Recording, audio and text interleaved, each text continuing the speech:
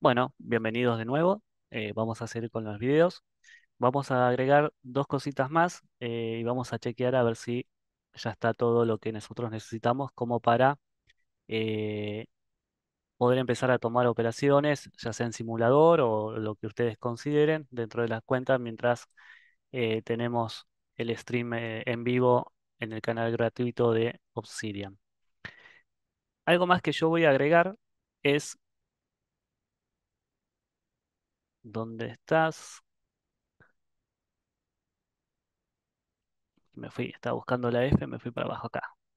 Este indicador viene por defecto y es muy bueno. Fibonacci Pivots. Vamos a agregar. Eh, nos calcula los rangos diarios, ¿sí? Dentro de la data intradía. Y acá también, customizable, podemos elegir eh, qué color queremos para las resistencias. Si tenemos niveles de soporte y resistencia de tres de- desviaciones estándar eh, de acuerdo a, los cálculos que haga. Bien, eso lo vamos a agregar. Fíjense que automáticamente me lo calcula por lo que fue la sesión y yo tengo, oh, nos fuimos bastante. Bueno, el pivot point, ¿sí? Que vendría a ser como el punto cero, distintos tipos de resistencia y demás. Esto, obviamente, uno lo puede, eh, de nuevo, lo puedes customizar y para los que le moleste, fíjense que empezamos ya a tener doble chorizo de nombres de indicadores que para el caso a mí no me interesa tenerlos porque no me suman nada. Entonces voy a empezar a borrar.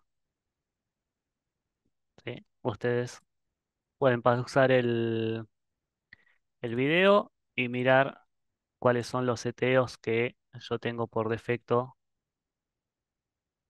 en este gráfico, ¿sí? Que es el gráfico que vamos a empezar a utilizar también en eh, los streams en vivos. Algo que a mí me gusta configurar al Trend Magic es eh, los niveles, ¿sí? El nivel de uno está bien, a mí me gusta tener 1,5 y 3. Después, en la medida que uno va viendo cómo se desarrolla el mercado, la sensibilidad la puede ir ajustando. Y el que es menor, me gusta que la línea no sea sólida, que sea punteada y que sea fina. Bien, de esa manera yo tengo eh, un gap el cual le voy a estar prestando atención. De hecho, si a este lo paso a 2, puede ser que tenga un poquito más de precisión en algunas cuestiones, 2,5.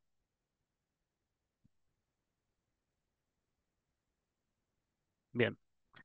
Eh, esto no es palabra santa, siempre van a tener alguna distancia, pero a mí me sirve como puntos de, de apoyo en los cuales yo voy a estar basando mi lógica para tomar operaciones.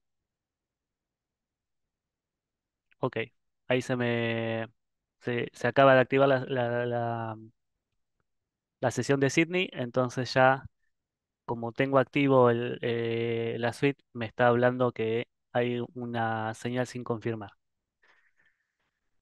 Bien. Básicamente con esto nosotros vamos a estar aptos para empezar a hablar en el mismo idioma en cuanto a la toma de operaciones. ¿Qué es lo que podemos hacer con esto? Si yo veo que ya tengo todo seteado, que está todo más o menos lindo, que me hace eh, ver el, el gráfico de forma sencilla, lo único que voy a hacer es, denme un momentito, esto. Esto me hace ruido. Lo voy a poner transparente porque no quiero que los bordes de las velas sean de algún color, porque si no, cuando me alejo, ahí está. Ahora sí, me descansó la vista. Bien, de esta manera vamos a tener el gráfico eh, simple, ordenado y fácil de detectar. ¿Qué es fácil de detectar? Los cambios de tendencia, las correcciones, los quiebres, los puntos de quiebre, cómo apoya, vuelve a irse, etcétera, etcétera, etcétera. Bien, próximo video. eh, antes de- de finalizar el video, una cosita, un detalle, un tip. Esto una vez que ustedes todo lo tienen configurado, como nosotros, vamos a trabajar co- con el concepto de fractalidad de la tendencia. Estos mismos niveles van a estar presentes en velas más chicas y velas más grandes, o sea, en el- la vela de 32 y en la vela de 8. Por ende, yo lo que puedo hacer es, con este seteo así, tal cual lo tengo, voy a Templates, salvar como, Obsidian Workspace es el que yo tengo, vamos a sobreescribirlo y lo cerramos.